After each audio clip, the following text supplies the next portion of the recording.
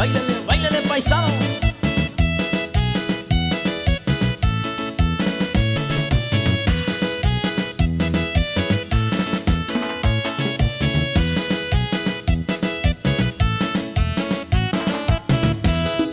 Y con eso saludamos